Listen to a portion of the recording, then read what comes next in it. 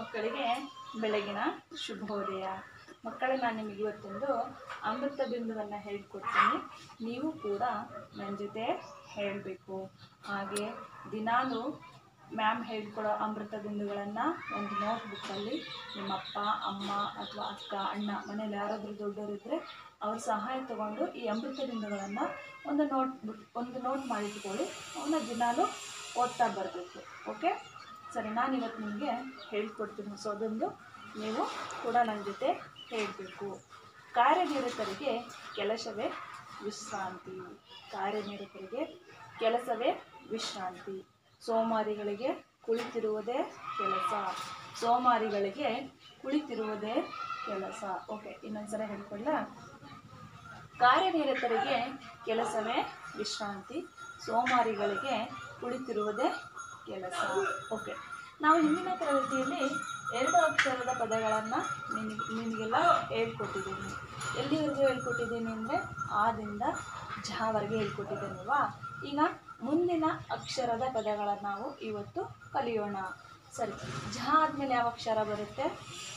ಢ ಬರುತ್ತೆ. ಟ, ಠ ಬರುತ್ತೆ. ಆದರೆ ಟ ಠ ಅಕ್ಷರದ ಪದಗಳು ಸರಳ ಪದಗಳು ಇಲ್ಲ. ಹಾಗಾಗಿ ಡ ಅಕ್ಷರದ್ದು ಕೂಡ ನಿಮ್ಗೆ ಹೇಳ್ಕೊಟ್ಟಿದ್ದೀನಿ ಇವತ್ತು ನಾವು ತ ಅಕ್ಷರದಿಂದ ಕಲಿಯೋಣ. ಯಾವ ಅಕ್ಷರ? ತ. ಹೇಳಿ ಅಕ್ಷರ? ತ. ತ. ಹ. ಇದು ಯಾವ ಅಕ್ಷರ ಹೇಳಿ? ದ. ಏನಾಯ್ತು? ತಡ. ತ. ದ. ತಡ. ನೆಕ್ಸ್ಟ್ ತ ಳ ತಳ. ಏನಂತ ಹೇಳಿ ತಳ. ತ. ಟ ತಟ. ಹೇಳಿ? ತ. ಟ. ತಟ. ತ. ಪ. ತಪ. ತ. ಪ. ಹಾಗಾದ್ರೆ ತಾದ್ಮೇಲೆ ಯಾವ ಅಕ್ಷರ ಬರುತ್ತೆ? ಥ ಬರುತ್ತೆ. ಥ ಅಕ್ಷರದ ಪದಗಳು ಇಲ್ಲ, ಹಾಗಾಗಿ ದ ಅಕ್ಷರದ ಪದಗಳನ್ನು ಕಲಿಯೋಣ. ದ. ದ. ಡ ದ. ಡ ದಡ ದ. ನ. ದನ ದ. ನ ದನ ದ, ಶ ದಶ ದ, ಶ ದಶ ದಶ ಅಂದರೆ ಹತ್ತು. ದಶ ಅಂದ್ರೇನು ಹತ್ತು. ರಾವಣನಿಗೆ ತಲೆ ಎಷ್ಟು? ಹತ್ತು. ರಾವಣನಿಗೆ ತಲೆ ಎಷ್ಟಿದೆ? ಹತ್ತು. ದಶ ಅಂದರೆ ಹತ್ತು. ನೆಕ್ಸ್ಟ್ ದ, ರ ದರ ದ, ರ, ದರ. ದರ ಅಂದರೆ ಬೆಲೆ. ದರ ಅಂದರೆ ಬೆಲೆ. ನೆಕ್ಸ್ಟ್ ಧ. ಧ. ಆದಮೇಲೆ ಧ ಅಕ್ಷರ ಬರುತ್ತೆ. ಧ,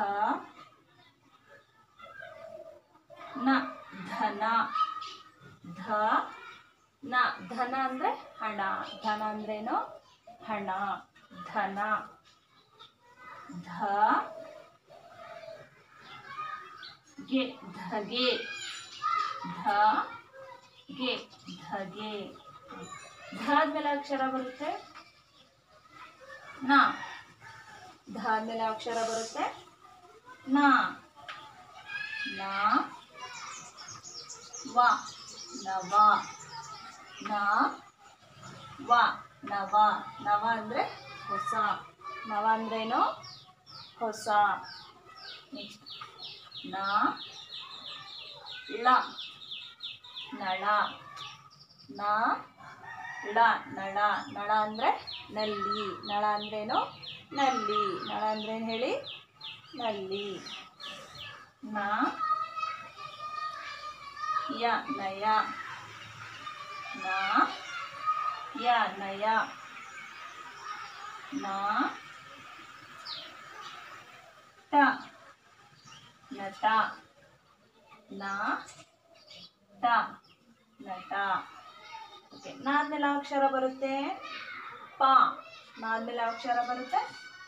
ಪ. ಸರಿ ಯಾವ ಅಕ್ಷರ ಹಾಗಾದ್ರೆ ಪ. ಪ. ದ. ಪದ. ಪ. ದ. ಪದ. ಪ ನ ಪಣ ಪ ನ ಪಣ ಪ ರ ಪರ ಪ ರ ಪರ ಪ